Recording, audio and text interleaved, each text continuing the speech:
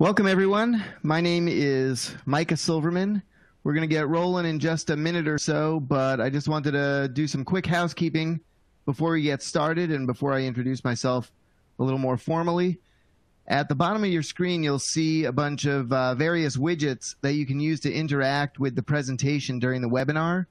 You can submit your questions in the webinar by clicking on the Q&A widget there on the bottom, at the bottom. Like I said, my name is Micah Silverman. I'm one of Okta's senior developer advocates, and we're going to be talking today. I'm going to be talking today about OAuth and OpenID Connect. You can see at the bottom of this first slide, you can get me on Twitter at afitnerd, and you can get all of Okta's developer advocacy team at Okta Dev. And just a little quick background about myself I'm a software developer and a developer advocate. I write code, I speak at conferences, I contribute to Okta's developer blog where we have a lot of tutorials and uh, thought pieces on OAuth and OpenID Connect, and we'll have that uh, available as resources. Now, a lot of times if you search for OAuth or OpenID Connect, or if you're interested in learning about the, these standards, you tend to get one of two types of Google responses. One is the specifications themselves, which are great if you're building an OAuth service like Okta has done, uh, or if you're suffering from insomnia. Those are great. The specifications are great for that.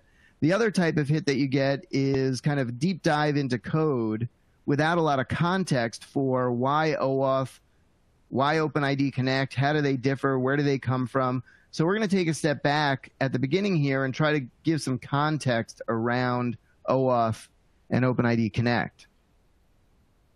In order to do that, we're going to jump back a bit to around 2007 to look at what the web looked like then.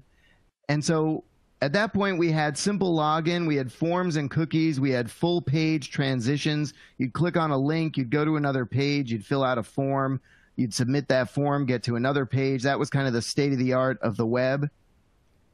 We did have some single sign on standards like SAML, but those were really in the domain of the enterprise. If you were a big bank or an insurance company, maybe you were using SAML, but it certainly didn't proliferate out to consumer facing websites to put things in context, in 2007, mobile was not solved as a viable platform. So 2007 was the year that the very first iPhone was released. And if you go back to articles of that time, there's probably an equal number of negative articles as there were positive. Lots of articles saying that this was ridiculous. Nobody was ever going to spend hundreds of dollars to have a, a computer in their pocket uh, to make phone calls, who wanted to browse the web on a three and a half inch screen. So mobile was not solved at this point. And we were just starting to talk about the idea of delegated authorization. Now, we're going to talk about delegated authorization a lot, but that conversation came out of the state of the art of the web where you had interfaces like this. This is a real screenshot from around this time from Yelp and we just started to to want to have interactions between different websites. So in this case, Yelp was this hot new service where you could rate restaurants, and Yelp gave you this interface so that you could connect with your friends that either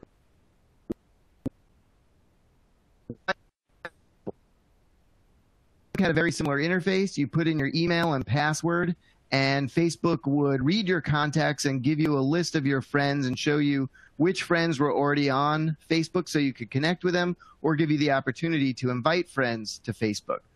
So these sorts of interactions between websites, Yelp and Facebook are examples, started becoming more important. The problem here was one of access and, and authority. Once I give my password to Yelp or to Facebook, that's kind of giving them the keys to the kingdom. Really, what I want them to do is have read only access to my contacts. I barely trust them with that level of authority. But in practice, what's happening is they now can do anything as me. They essentially can masquerade as me. They could send emails on my behalf. They could delete my contacts. They could look at my Google Docs. That's way more authority than I want to be able to give them. So the question that emerged is how can I let a website access my data without giving it my password and access my data in a, in a very limited way? Now, I just want to do a quick uh, check here and make sure the audio is, is okay. So I'm just going to check in with my producers. Are the is the is the audio good, or do I need to switch to a different mic? Just let me know in chat. Okay, cool. All right, so now what emerged out of this conversation on delegated authorization, how can I let a, a website access my data without giving them my user ID and password, is the OAuth and then later on the OpenID Connect standards. But now there ended up being a lot of confusion around these standards. So the confusion comes with a lot of terminology and jargon. Um, this is less of a factor today, but there's a lot of incorrect advice. So you literally get blog posts or, or other types of posts where people were saying to, to take a certain approach in using OAuth and OpenID Connect, and it was just plain wrong. In order to understand OpenID Connect, we first need to talk about OAuth. And we're going to see a little later on, kind of a spoiler alert, that OpenID Connect is a thin layer that rides on top of OAuth. It doesn't stand alone.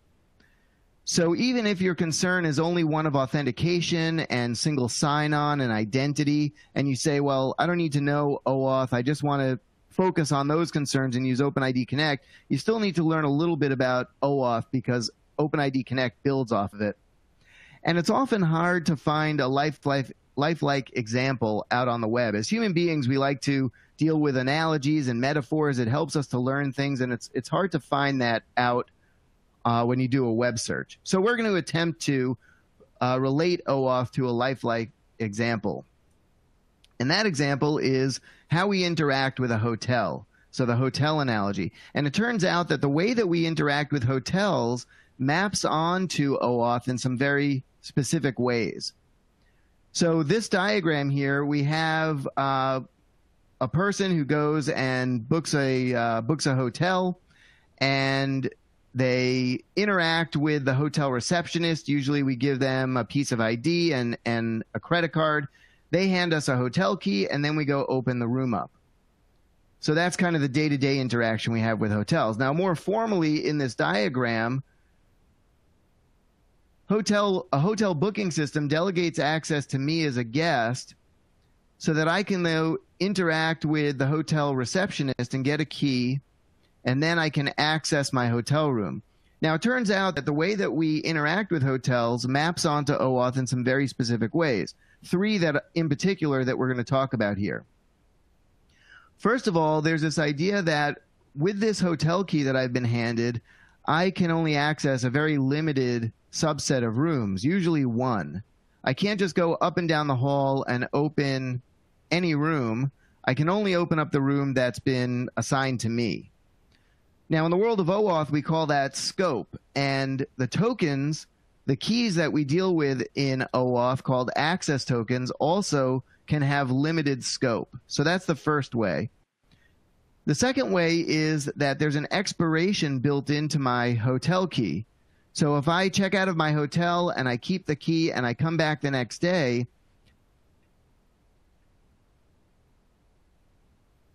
the previous static. It's built into the key. There's nothing that the hotel receptionist or the hotel manager had to do explicitly to expire that key. It's built into the key. Likewise, in the world of OAuth, we have these access tokens, and those access tokens also have a built-in expiration. And now, the last way that I'm going to touch on that hotels map onto OAuth it really drives home the point that OAuth is all about authorization, where OpenID Connect is about authentication. And this last point is that the hotel key is what we call a bearer token. What that means is that if my if my arms are full and I go up to my hotel room door and I and I hand the key off to my daughter or my wife, they can open that hotel door just as easily as I can. So the hotel door doesn't care who I am. All it's doing is validating the key. Is it the right room? Is it not expired? And then if that's the case, it's going to open up. So likewise, in the world of OAuth, when we have these access tokens, they are bearer tokens, and the API that we're interacting with with the access token doesn't care who we are. It's just going to check that the token is valid, that the scope is correct, and that it's not expired. It's also one of the reasons that in modern hotels, those hotel keys don't have the room number stamped on them. Because if we were to drop that key in the lobby of the hotel and it had the room number on it, then anybody could open our door because, again, the door doesn't care who we are. Now let's look at this same diagram in the context of an application. And if you notice, switching back and forth between these slides, the arrows and the steps are the same, but the, the actors are a little bit different. So now in the case of, of an app, we have an end user that's like you sitting in front of your browser. You delegate access to Yelp because you want Yelp to be able to read your contacts. Yelp obtains an access token from Google, and then Yelp uses that access token to interact with an API, in this case, the Contacts API. So it's very similar to the way that we interact with hotel rooms. Now, with that under our belt, we can take a look at some more formal OAuth terminology. And the third column in this table are our formal OAuth terms. So we have these four actors. We have a resource owner, a client application, an authorization server, and a resource server. Now, starting at the top, the resource owner wants a client app to do something on, on their behalf. So that's like in the hotel, the hotel booking system is going to enable me to book a room. In the case of Yelp, me sitting in front of my browser, I want Yelp to do something on my behalf, namely read my contacts. The client application needs authorization to interact with an API on behalf of a user. So in the case of the hotel, that's me as the guest. In the case of the app, that's Yelp. So Yelp needs authorization in order to interact with an API, the contacts API on my behalf. Next up, we have the authorization server. The authorization server grants access in the form of tokens to an application. So this is Google granting access to Yelp in the form of an access token. And finally, we have the resource server. The resource server has an API that an app can use if presented with a token. So the contacts API, Yelp can use the contacts API as long as it presents a token that has the right scope and isn't expired. So now, when we, in a more modern app, when we're using OAuth 2, what we're really saying is I trust Gmail. I use Gmail every day, and that's where my credentials for Google are supposed to go. And I kind of trust Yelp. I want Yelp to have access to my contacts only. And so now instead of a form that I click on or, or that I put my username and password in, now I have this friendly connect with Google button.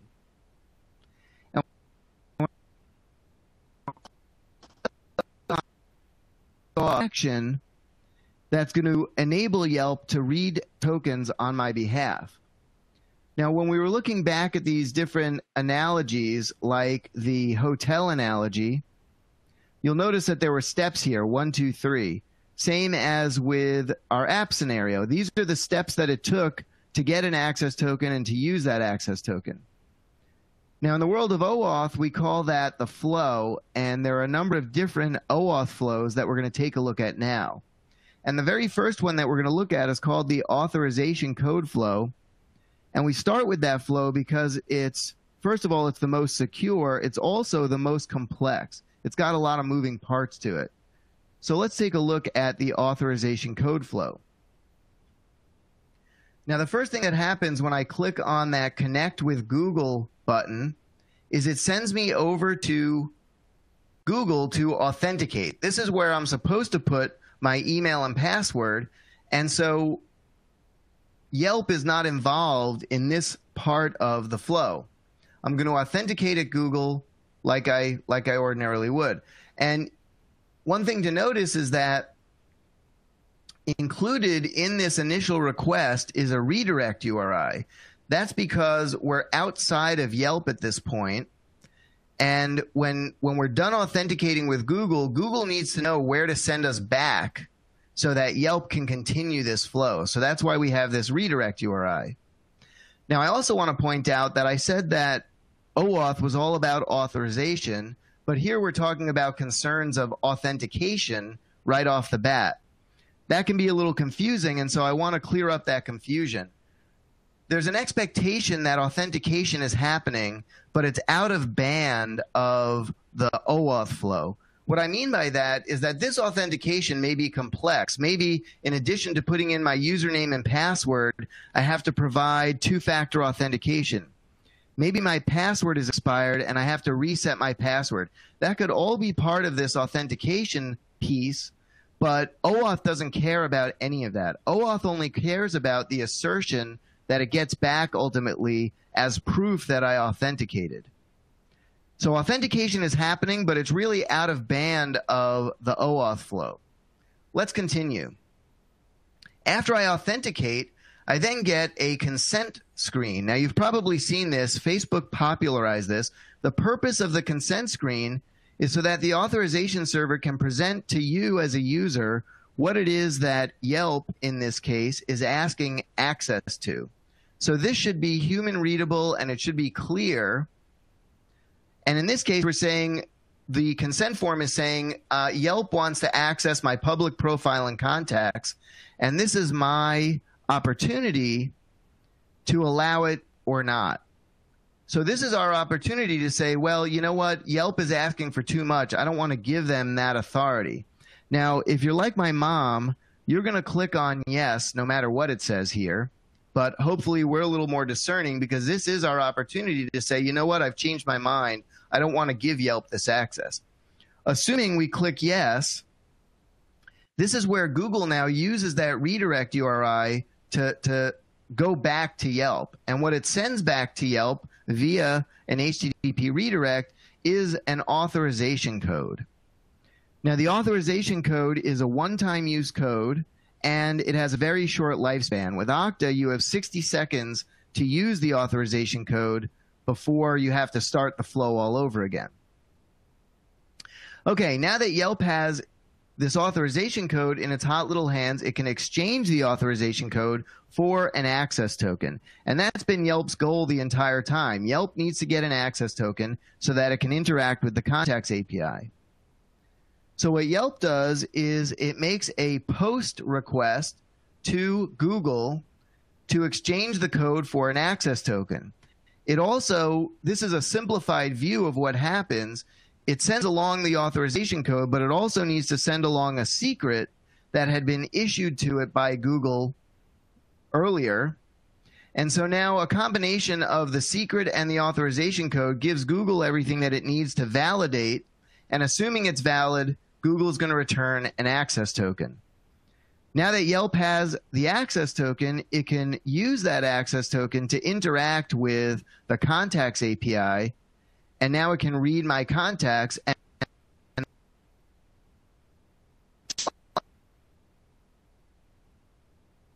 Yelp now has the authority to access my to- my contacts read only.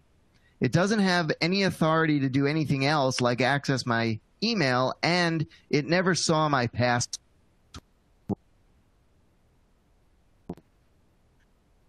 further and see what else is going on with this. Now we're going to revisit this um, this flow uh, a number of times, and let's see what we have here.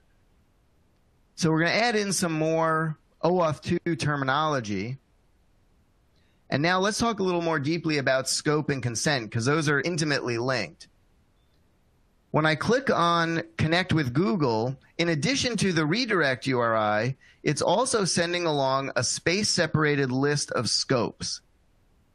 Now, these are the scopes that Yelp is requesting, and Yelp can request any scopes. It could request write access to my contacts. It could request the ability to send email on my behalf. It can request whatever it wants. But Google is going to show all of the scopes that Yelp is requesting and give me an opportunity to say yes or no.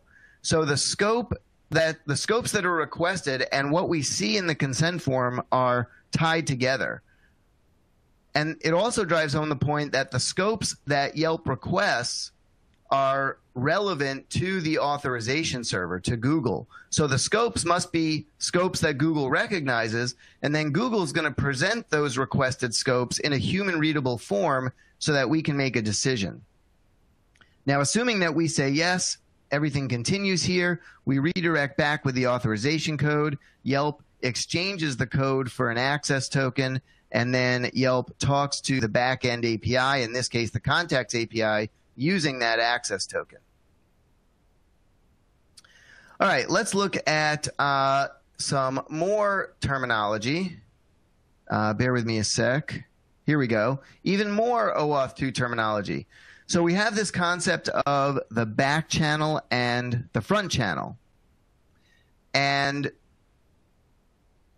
you may or may not have noticed in the diagrams that we've looked at so far, there were solid lines and there were dotted lines. Now, the back channel is a highly secure channel, and the front channel is a less secure channel. And what we mean by the, these channels is the front channel is anything that passes through your browser's address bar. That's what we call the front channel. Anything that's a server to server communication, that's the back channel. So let's revisit our flow here and see when we're dealing with the front channel and when we're dealing with the back channel. Now, when we click on this initial link, that's the front channel. That is you, this initial request that includes the scope and the redirect URI, that all happens in your browser's address bar. We also see the consent form from our browser, so that's front channel, and Google redirects back to Yelp on the front channel as well. So this authorization code that Google sends back passes through your browser's address bar. Now we call this a less secure channel because there are certain things that can interfere with this interaction. When Google redirects back, if you're familiar with HTTP, this is a, an HTTP 302 redirect that hits your browser, and then the browser sends that request over onto Yelp. The browser does that automatically. You don't have to intervene. But we call it a less secure channel because, first of all, Google has no way of knowing that the correct recipient, namely Yelp in this case, actually received the redirect. So you may have some compromised network or a compromised machine, and maybe Yelp never receives that redirect, and Google has no way of knowing that. That was my. If you heard that beep, Sorry, I've lost track. that was uh, that was my phone activating because I was saying Google so much. So so there you go. Google's always listening. This is the top result. Ah, all right. I'm gonna have to turn my phone off. I think. All right. So that's one issue is redirect interception. Another potential issue is you may have a compromised machine. You may have malware or a virus you may have even a misbehaving browser extension that's listening to what's passing through your browser's address bar and intercepting it. So these are all risks on the front channel. Now we're going to see in a little while, and you may have asked, you may have the question, well, why do we go through this whole dance? Why do we have an authorization code and then we have to exchange it for a token? Hopefully that'll be cleared up in this conversation about back. So everything that's happened channel, including getting this authorization code. Now, assuming Yelp gets the authorization code, the next thing Yelp does is exchange it for an access token. Now, if you notice, this line is dotted. This is a back channel communication. So Yelp, sitting in Yelp's data center behind Yelp's firewall, is making a post request to Google sitting in its data center behind its behind its firewall. This is a much more secure mode of communication, and it's why we call it the back channel communication. So now Yelp has a high degree of confidence that it's communicating with Google, and because it's a post, the, the request is a post, the response from Google is going to come back on that same channel. So it's much more trusted. And this is why we have this little dance. We don't return the Google doesn't return the access token directly to Yelp in a redirect because then the token would pass through your browser's address bar. And if you remember, the access token is a bearer token. So if you have a malicious browser extension that's examining your address bar and that access token comes back through your address bar, now that malicious browser extension has the access token and can use it directly. If, on the other hand, the browser intercepts the authorization code, like a, a, misbehaving browser extension, there's not a lot that that extension can do with that authorization code. Because if you remember from before, in order to exchange that authorization code for the access token, Yelp also needs to provide a secret that your browser extension would have no way of having access to. Because that, that secret that Yelp is using is programmed as an environment variable or in a database, something that Yelp only has access to in its server safely in its data center behind its firewall. Okay, once Yelp has the access token, it can then use that access token also on a back channel communication with the contacts API to read your contacts. Now, tactically speaking, this is what, when we click on that connect with Google button, this is what the URL looks like, or this is an example of what the URL would look like. So we're hitting an authorization endpoint and we're passing in, at a minimum, we're passing in these five query parameters. We have a client ID that identifies the application in the service, in this case, Google. So with Google and Okta and Facebook and most providers, you can have any number of applications defined. And so the client ID identifies the application. Then we have the redirect URI that tells Google where to redirect back to. We have a space separated list of scopes. We have a response type.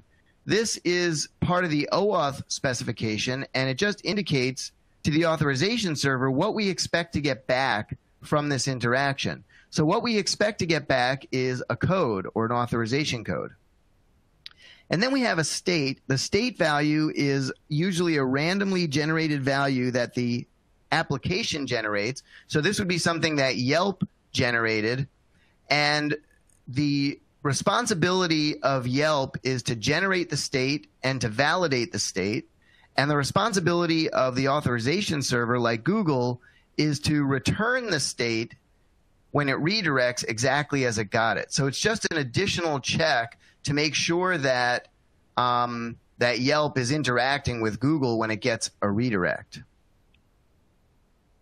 Now, assuming you uh, when you get to the consent screen, you're going to either click allow or deny or yes or no. And if you clicked no or deny, it's going to redirect back with an error.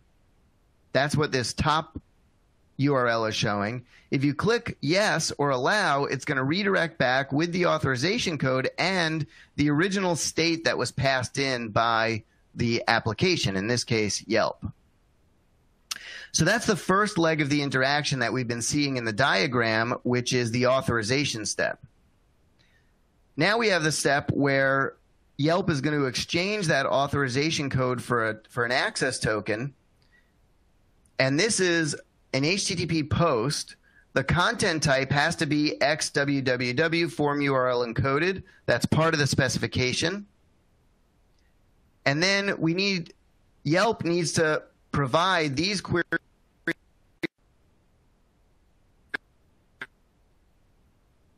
exchange the code for an access token. So it's the code itself, it's the client ID, and then we this is where Yelp provides the client secret, which only it knows, or I should say it and Google know because Google assigned the client secret, and it needs to provide the grant type. Grant type is synonymous with flow, and so this this uh, last 10 slides or so, we've been talking about the authorization code flow. So grant type is required. Assuming all this checks out, then Google is now going to respond with an access token. It's a JSON response, and it looks something like this. It's got the access token itself, an expiration, and a token type, which is going to be bearer. Uh, now, one thing if you have uh, ask questions using the Q&A panel and we'll address them uh, to the greatest extent possible at the at the end.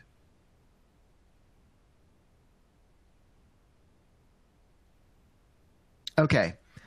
Now, once Yelp has this access token, the way that it uses it is to hit an API endpoint using uh, a standard HTTP GET or POST, and then it uses this authorization header. This is also part of the HTTP standard, which predates OAuth. So there's an authorization header. And the way the authorization header works is you give it a scheme and a value. Now, there are some built in schemes that you may or may not be familiar with, like BASIC is a built in scheme. And if you've ever worked with your, if you've ever interacted with your home Wi Fi router, you've probably encountered the BASIC scheme. That's where you get that old school pop up and you have to put in a username and password. And in the case of your home Wi-Fi router, it's admin admin or admin password, and everybody knows it because you never changed it. That's basic authentication. But the HTTP specification accommodates custom schemes, and in the case of OAuth, the custom scheme that we're using is the keyword bearer. So bearer with a capital B, that must be present, followed by a space, followed by the access token that we just got. And then it is the responsibility of the API now to validate that access token. So the API receives that access token. It's going to validate it to make sure that it's a valid token, that it's not expired. It's going to make sure that the scope is correct for the API endpoint that's being interacted with. Assuming all that checks out, the API will respond with, in, in the example we've been talking about, a list of contacts, or it'll respond with an error if Yelp was, say, trying to write to my contacts.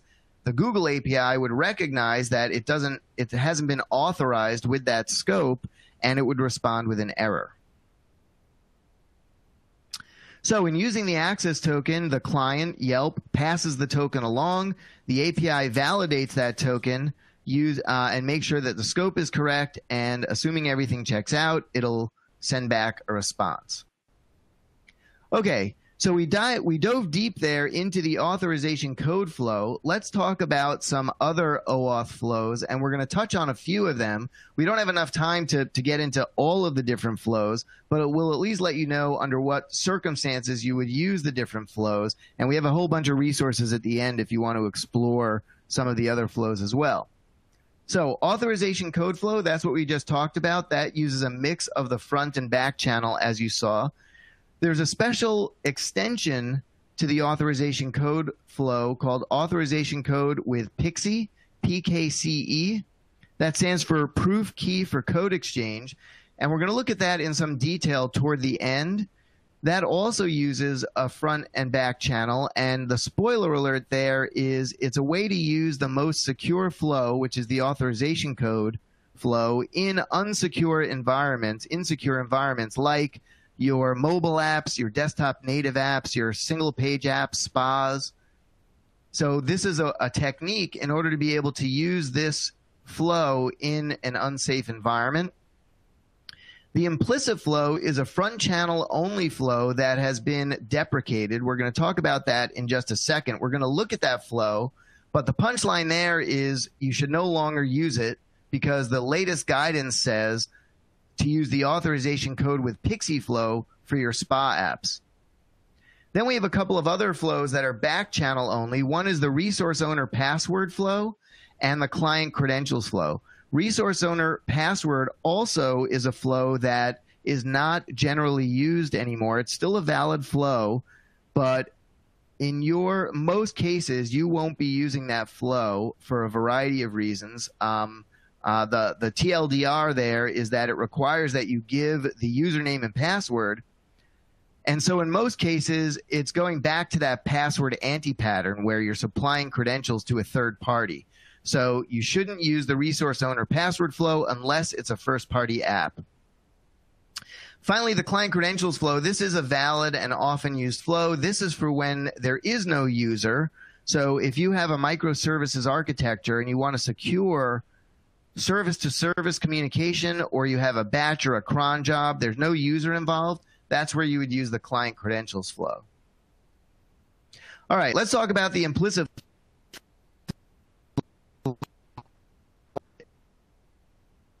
Okay. So you might imagine, just imagine that Yelp has an Angular app, a single page app, and it wants to use OAuth.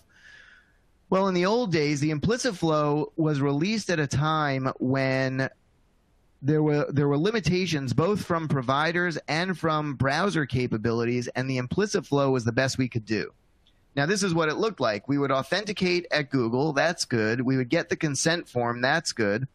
But because it's a spa app, Google would immediately redirect back to the browser with the access token. Now, this presents a couple of problems, some of which have always been there with the implicit flow and some of which are new. So, the problem that's always been there with the implicit flow is redirect interception, which we talked a little bit about earlier.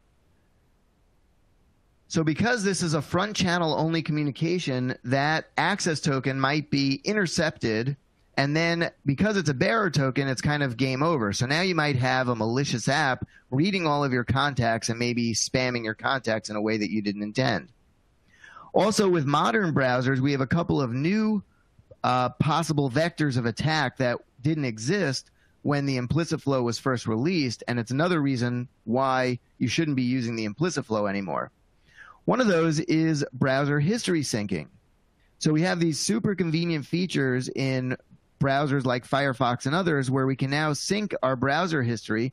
And that's great from a user experience perspective. I can uh, log into, say, my bank on my mobile Firefox app. And then when I walk into my office, I can go over to my desktop and I can pick up right where I left off. Super convenient. And that's because Firefox is syncing my browser history, including cookies and tokens and anything else that might come across.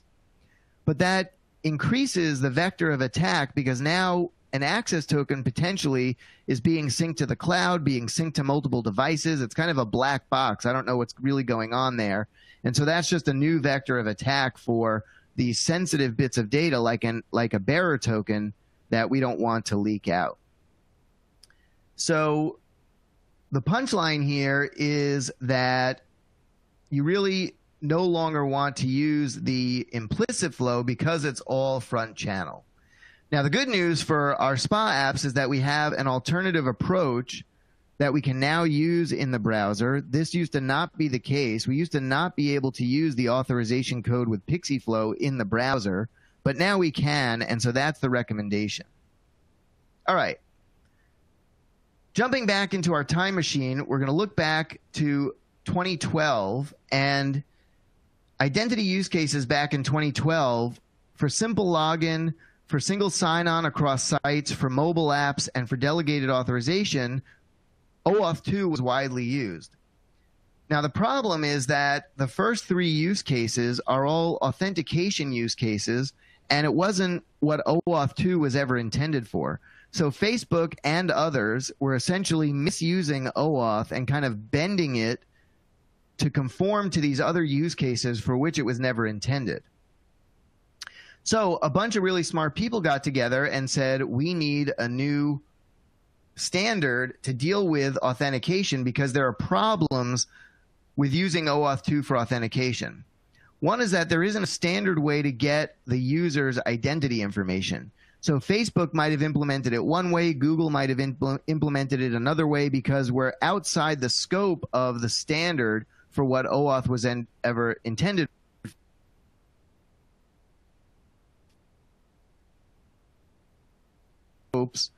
which reduces interoperability. OAuth gave a lot of flexibility. It introduced the concept of scopes, but it didn't define any scopes. So maybe Facebook calls your user profile profile, whereas Google would call your user profile user info. So it was kind of like the Wild West out there. Everybody was doing things a little bit differently. So Google and Microsoft and a bunch of other smart people got together and said, well, OAuth gets us like 80% of the way there. Let's build a thin layer on top of OAuth and get us the rest of the way there. And that's what OpenID Connect is. OpenID Connect is for authentication. It's for concerns of identity and it rides on top of OAuth 2. That's why we spent all this time talking about OAuth before we could get to OpenID Connect because it doesn't exist on its own. So OpenID Connect adds a new token called an ID token. It adds a standard endpoint called the user info endpoint to get additional information about the authenticated user. It introduces a standard set of scopes. So there's a handful of scopes like profile, email, address, phone that are predefined with OpenID Connect. And so every implementation, including Okta, has to support these scopes. It also still supports custom scopes, so there's still a lot of flexibility. But now we have a much higher degree of interoperability because we all know we're talking about the same thing. And so it's standardized the implementation. Let's revisit our authorization code flow, but now in the context of OpenID Connect. We have all the same flows available to us because, again, OpenID Connect is still uh, riding on top of OAuth. All right, so we we we kick off the flow uh, similar to the way we did before, except now we have a required scope, and that is the OpenID scope. That's what distinguishes this from a regular old OAuth interaction. So far, so good. We see the consent screen just like we did before. We redirect back with an authorization code. And now here's where things are a little bit different. When Yelp exchanges that authorization code, now it gets back both an access token and an ID token. And now Yelp has an additional capability, which is it can use, it can, first of all, it can identify me by name because the ID token has my user identifying information in it. And it can use the access token to interact with the user info endpoint. And that user info endpoint now uh, gives additional information back to, um, to Yelp. Okay, bear with me a second here. Let's take a look now at the anatomy of this ID token. Now, another thing with OAuth was in, in terms of uh, flexibility in the standard is that OAuth defined access tokens, but it didn't dictate the format of those tokens. So Facebook might have a different token format compared to Google, compared to Okta.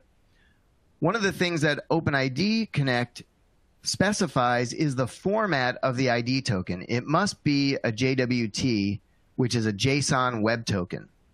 Sometimes they're referred to as JOTs. I'm not particularly a fan of that. I don't know how you get the ah sound out of the W, but that's the way it is. So if somebody says JOT, you'll know what they're talking about. It's a JWT. Now the JWT pictured here, this long, ugly, gnarly string, we've we've added some white space and we've colorized it, but it's really just one long string. It's got three parts to it. It's got a header, a payload, and a signature.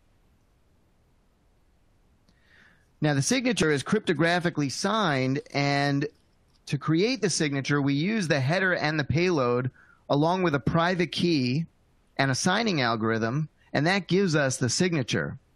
And to validate the signature, we use the header and the payload and a public key with a validation function.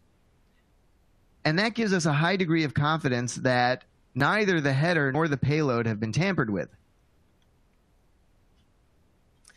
Now, the payload is just valid JSON, it's key value pairs, but in our industry, we have to complexify everything, so we don't call it key value pairs, we call them claims.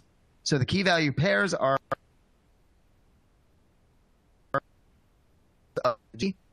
and find claims.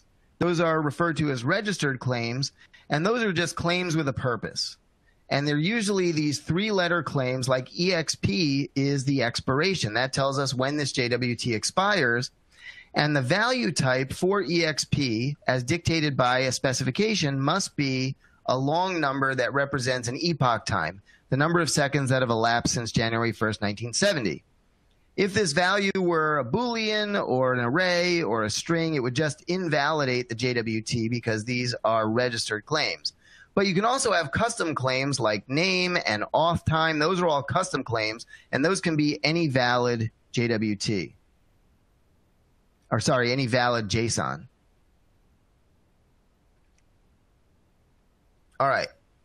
We have about five minutes left, so we're going to cook through these uh, these last few slides here, and then we'll have um, lots of time for uh, for questions. All right, so fast forwarding to today, we now have everything in its right place. For all of those authentication use cases, the first three simple login, single sign on, mobile app login, we have OpenID Connect. And then for delegated authorization, we have OAuth 2. So on the left-hand side, OAuth 2 is for when you want to grant access to your API, and OpenID Connect is for when you want to log in the user and understand information about the user.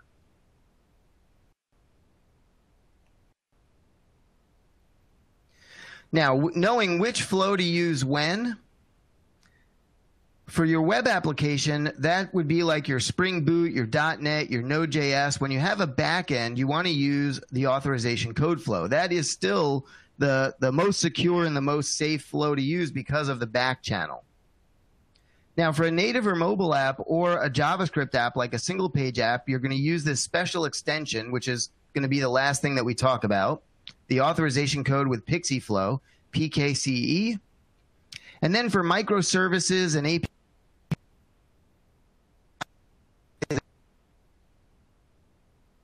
credentials flow. All right, let's talk about Pixie. I've left my favorite for last. So Pixie stands for Proof Key for Code Exchange. And it's a way to use the authorization code flow in an unsafe environment. If you remember the authorization code flow, the end where we exchange the code for a token, that relies on a client secret, a fixed client secret. Now, in the world of our spa apps or our mobile apps, it's not safe to store a fixed client secret because those can be analyzed and decompiled and parsed and looked at and extracted. So, what Pixie does, what the Pixie extension does, is it allows us to have a dynamic secret that's safe from prying eyes, that's only used once each time we go through the flow, and it gives us a way for the authorization server to validate that fixed secret. So, let's take a look at it. If you're not familiar with this type of diagram, this is called a sequence diagram. And we look at things from left to right and top to bottom to get an understanding of how the different actors interact with each other over time. So, moving from left to right, the resource owner, that's you sitting in front of the browser, you go and access the client app. Let's say this is a, an Angular app.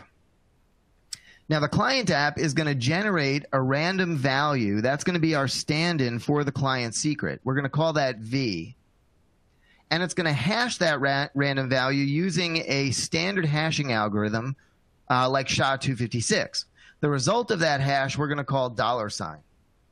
Now, the Angular app is then going to redirect over value. The authorization server stores that hashed value, which we call dollar sign, and it returns the login form to the user so they can authenticate.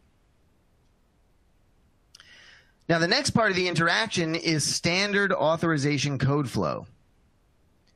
So the authorization server, after you've authenticated, redirects back to this Angular app with the authorization code. That's, we're going to call that alpha. And now this is the point at which the client app, our Angular app, needs to exchange the authorization code client ID, the client secret, and the authorization code. In the case of Pixie, it's going to use the client ID, the random value that it generated at the beginning of the flow, and the authorization code. It's going to send that over to the authorization server and now the authorization server is going to validate that random value V by hashing it first and then comparing the hash value to the value that it stored earlier in the flow. This is very similar to the way that we handle um, passwords in modern identity systems. So Okta never stores your plain text password, but when it's presented with your plain text password, it hashes it and it compares it to the hashed value. Likewise, earlier in the flow, we saw that our authorization server stored the hashed value. And then later on, when it receives the plain text stand in for the client secret, it's going to um, it's going to uh, hash that value and compare it to the value that it stored before. All right, now we're running a little short on time, so let me quickly demo this. But at the you'll have the resource uh, list so that you can look at this demo yourself if you're so interested. I'm going to share my screen really quick here. And I have a little example here that I call the um, the uh, PKCE CLI. And the, what the Pixie CLI does is it emulates a standalone native client using the Pixie flow. And all I have to give it is an Okta org and a client ID. Let's take a look at what's going on here. So the first thing it does is generate the code verifier and it generates the code challenge. That's our plain text value V and our hashed value dollar sign, just like we saw in the diagram. It's then going to kick off a connection to our authorization server using an, an authorize endpoint. And what I have highlighted on the screen now, this is the standard view, or this is the standard authorization code flow. But we add two additional parameters, which is the code challenge method, so that Okta knows the hashing algorithm that we're using, and the code challenge, which is that hashed value. So now it's going to launch the browser, and I'm going to authenticate.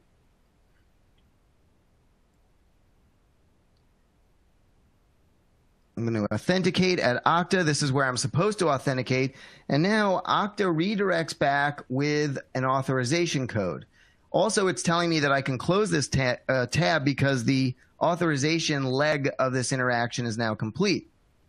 And I can see that my little uh, example here got this authorization code, which we called alpha, just like in the diagram. Now, when I press any key to continue, it's going to exchange that authorization code using the original code verifier. This is our stand in for the client secret. And so Okta is going to hash this value and compare it to the code challenge that it stored earlier.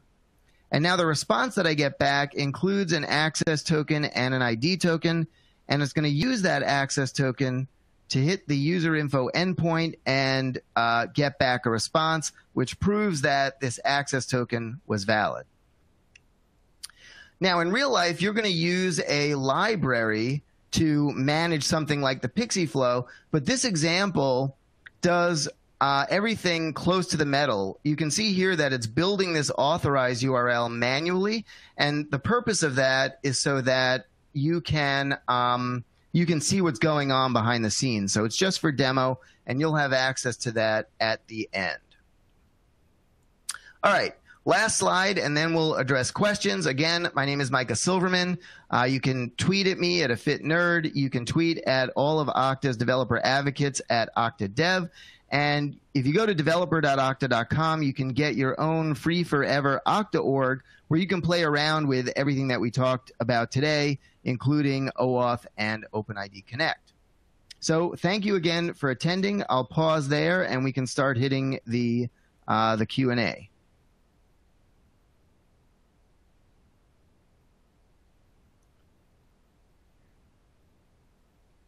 All right. Now let's see. I'm looking at the the questions list here, so bear with me for a second.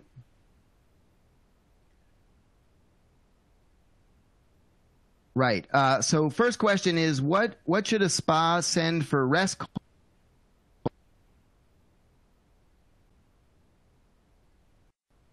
we didn't get into great detail. So the SPA for REST calls is going to send the access token as part of that request. That's something that JavaScript can do just fine. So it would be a post or a get to an endpoint, and it would have that authorization header.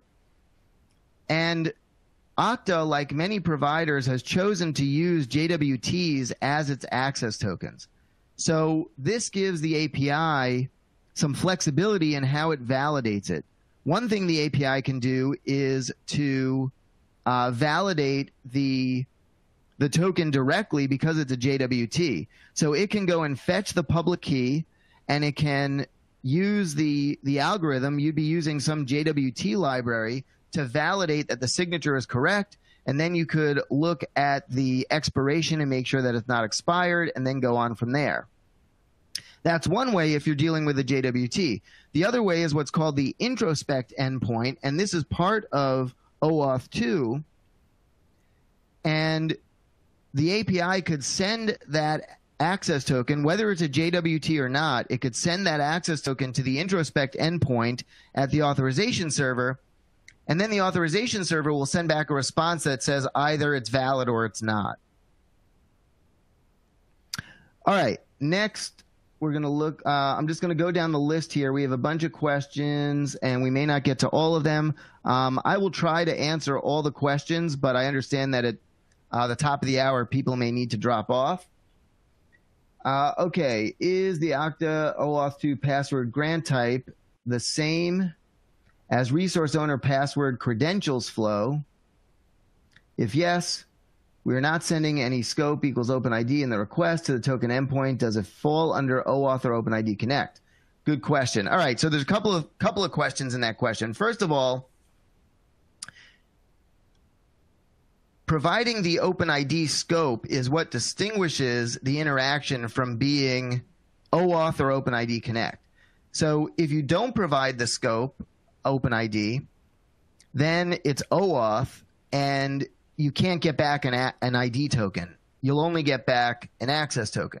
Now, if your response type is trying is explicitly saying that you want to get back an ID token, and you don't provide the OpenID scope, then you'll end up getting an error because it's incompatible. Op- ID tokens only exist in the context of OpenID. Okay. Okta does have support for the password grant type. Uh, formally, it's the resource owner password grant type.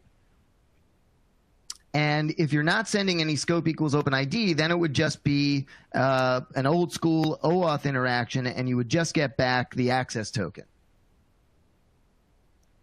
Now, I'm going to assume that that you know the answer makes sense. Um, you can send a follow up question if I didn't properly answer anything, just because we have so many people. Um, I'm just going to keep going down the list here. Uh, what's the difference between the data of the ID token and the data of the user info endpoint? Good question. So the ID token is a JWT. It's sent back to the application um, in the authorization code flow. When you exchange the authorization code, you get back the ID token. And typically, that would be a, a light amount of user information. And, and in Okta and other providers, you can control what gets put into that token. Typically, you wouldn't want a ton of user information in that um, in that JWT because you start to introduce net, network latency if, if it's a really big payload. so let's just say, for the sake of argument, you have a service and part of the user profile includes every movie that I've seen in my entire life. Well, you probably wouldn't want to jam that into the ID token.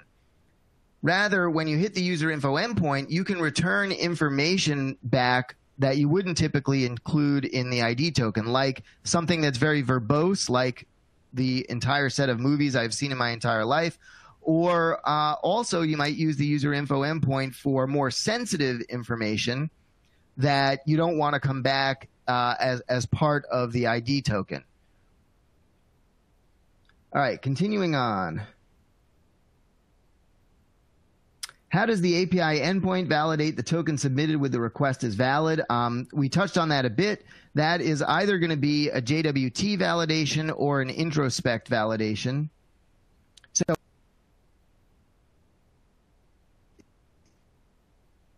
token that is not a JWT, it would have to introspect. It has to rely on the authorization server to um, uh, Uh, otherwise, you can validate. All right, we have time for one more question, and I apologize. It looks like we're not going to get to all of them. So let's see what's next. Is the client secret unique to the Yelp user or unique to the to Yelp company wide?